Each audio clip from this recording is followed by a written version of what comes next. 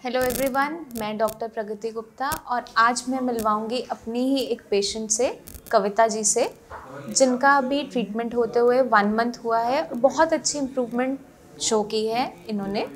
ये पेशेंट हैं chronic kidney disease के। इनकी जो किडनी ख़राब होनी शुरू हुई थी, इन्हें जब पहली बार पता चला था 2019 में डायग्नोस हुआ था फेबररी में। अचानक से वॉमिटिंग होनी शुरू हुई, साथ में फीवर आया। तो ये हॉस्पिटल में जाके एडमिट हुए। वहाँ पे जाके डायग्नोस हुआ, जब इनके फर्दर टेस्ट हुए एमआरआई हुआ था अल्ट्रासाउंड हुआ था, उसमें डायग्नोस हुआ कि इनकी जो किडनी है ठीक से काम नहीं कर पा रही है। राइट किडनी के अंदर काफ़ी ज़्यादा श्रिंकेज थी लेफ़्ट किडनी का साइज़ कुछ हद तक वो भी श्रिंक हो चुका था। तो तब जाके इन्हें पता चला कि इनकी किडनी ठीक से काम नहीं कर पा रही है और इन्हें किडनी की बीमारी हो गई है। उससे पहले जब इनकी डिलीवरी हुई थी 2015 में, तब भी ये हाई बीपी की पेशेंट रही थी। उसी के कारण इनका सी सेक्शन हुआ था। नॉर्मल डिलीवरी नहीं हो पाई थी, क्योंकि बीपी अचानक से शूटअप कर गया था। ड्यूरिंग प्रेगनेंसी तो इन्होंने बीपी की टैबलेट्स रेगुलरली क्योंकि गायनाक की गाइडेंस के अंडर थे। बट उसके बाद इरेगुलर मेडिसिन पे थे रेगुलर मेडिसिन नहीं खाई। सिर में दर्द रहता था, पता नहीं चलता था कि बीपी बढ़ा हुआ है। पेन किलर खा लेते थे, काम में बिज़ी रहते थे, बहुत सारा काम करते रहते थे बट अपनी हेल्थ के ऊपर ध्यान नहीं दे पाए। उसी नेग्लिजेंस की वजह से क्या हुआ? बीपी बढ़ता गया और साथ के साथ किडनी की बीमारी स्टार्ट हो गई। कोई फैमिली हिस्ट्री नहीं थी किडनी डिज़ीज़ की बट हाई बीपी के कारण इनकी किडनी डैमेज होती चली गई। ये हमारे पास लास्ट मंथ थी, इन्होंने विज़िट किया था। जब इन्हें डॉक्टर्स ने जवाब दे चुके थे, इन्हें बोल दिया गया था कि आप फिस्टुला बना लीजिए, आपको डायलिसिस पे जाना पड़ सकता है, क्योंकि इनकी जो कंडीशन थी वो ख़राब होती चली जा रही थी। तो अब हम बात करेंगे कविता जी से कि कैसे ये साइंस संजीवनी तक पहुँची और किस तरीके से इनका ट्रीटमेंट स्टार्ट हुआ और अब ये कैसा फील करती हैं ट्रीटमेंट के वन मंथ के अंदर और क्या क्या पेशेंट को ध्यान में रखना चाहिए, वो सब ये बताएँगे। तो कविता जी अभी वन मंथ जैसे आपका इलाज शुरू हुआ है तो अब कैसा फील करते हो पहले से? पहले क्या सिम्टम्स थे? अब कुछ बेटर फील करते हो? वो थोड़ा सा हमें बताओ। पहले तो मैं दवाई पहले तो मेरा मन खाट में से उठने का मन करता ही नहीं था। इतनी कमज़ोरी लगा हाँ। मैं हमेशा लेटी रहती थी। लेकिन अब तो मैं काम भी करती हूँ घर का। जो भी मेरे बस की है थोड़ा हाँ झाड़ू पोछा कर खाना खाना खा पाते हो हाँ खाना मैं खा लेती हूँ। पहले तो मैं टैबलेट लेती थी खाना खाने के लिए लेकिन अब मुझे भूख लगती है। अच्छा अब भूख थोड़ी खुल गई है। बस भूख लगती है मैं खाना खाती हूँ। मन भी करता खाना खाने का। साइंस संजीवनी तक पहुँचे कैसे थे? पता कैसे चला था? क्योंकि जब आपको डॉक्टर्स ने बोल दिया था कि अब आपका इलाज नहीं होगा तो काफ़ी घबरा गए होगे उस टाइम के डायलिसिस करवाना पड़ेगा। ये मेरे भाई और मेरी जिठानी है जो, मेरी बड़ी सिस्टर उन्होंने यूट्यूब पे वीडियो देखी थी। तो वीडियो देख के फिर उन्होंने मेरे से सलाह दी कि एक बार तू जाकर तो देख, मैंने कही जब भी मेरी यकीन नहीं था यहाँ पे कि मैं सही हो जाऊँगी। लेकिन हाँ तो बीमारी का इलाज हो भी पाता है नहीं हो पाता है। पर वो मेरे साथ लगी रही नू बोली चल चल तू चल पैसे मैं दे दूँगी पर तू एक बार चल।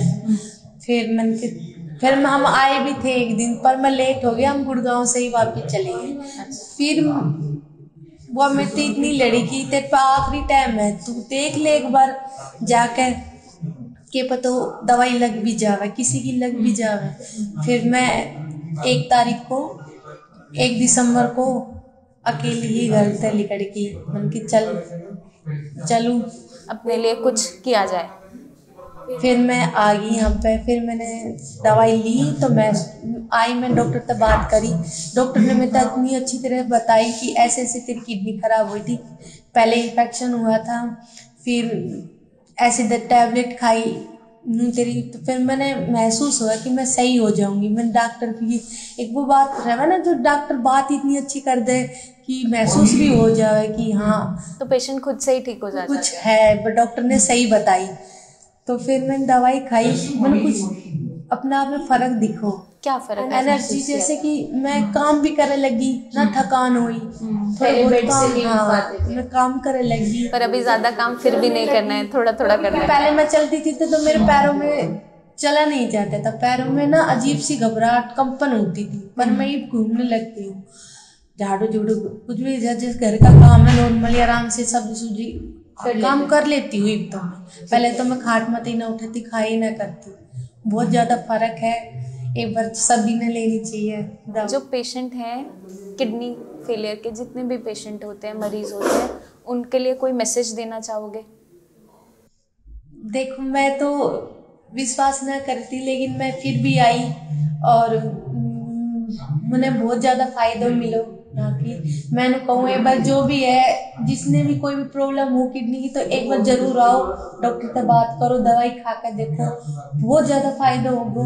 और वो तो अच्छी बात है कि किसी ने फ़ायदा हो जाए। हाँ, जितनी क्योंकि आपने आपको भी भरोसा नहीं था। अब तो भरोसा है पूरा पूरा का पूरा कि ठीक हो जाओगे सुधार आ रहा है। क्योंकि रिपोर्ट्स में भी वो नज़र आ रहा है।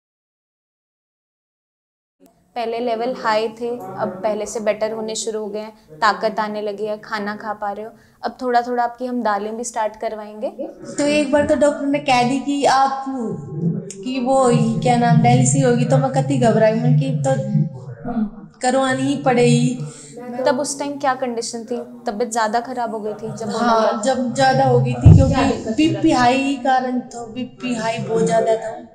और मैंने भूख ना लगी थी कभी भी। मैं डॉक्टर से कही करती, मेरी हाँ पेन हो रही कर तो सारे इंजेक्शन लगे करता मेरा साढ़े तीन तीन हज़ार का और मैंने कुछ, फिर डॉक्टर ने आके जवाब दे दिया कि रिपोर्ट तेरी बहुत ज़्यादा ख़राब आ रही है। आप सर्जरी के लिए आओ डॉक्टर से बात कर लो। मैं अपने घर आई तो मैं रोती ही आई। सारा घर का बहुत ज़्यादा घबरा गया था। ये तो मेरा आखिरी चांस था कि मैं यहाँ पर आ गई और मेरी रिपोर्ट में सुधार आया सुधार गया ना? अब आपको कुछ चीज़ों का ध्यान रखना है, क्योंकि जितने भी 40 परसेंट ऑफ़ द केसेस हम देखते हैं हाई बीपी के कारण किडनी फेलियर की तरफ़ पेशेंट चला जाता है। तो हमें क्या ध्यान रखना है कि अपने बीपी शुगर लेवल्स को मैनेज अच्छे तरीके से करते रहना है। जैसे कविता जी के केस में बीपी हाई बीपी एक मेजर कल्प्रिट है उनकी किडनी को ख़राब करने के पीछे। तो जब तक आप रूट कॉज को नहीं हटाते हो बीपी की मैनेजमेंट नहीं करते हो, कारण को हटा नहीं पाते हो, तब तक आपके किडनी में सुधार नहीं आ पाता है।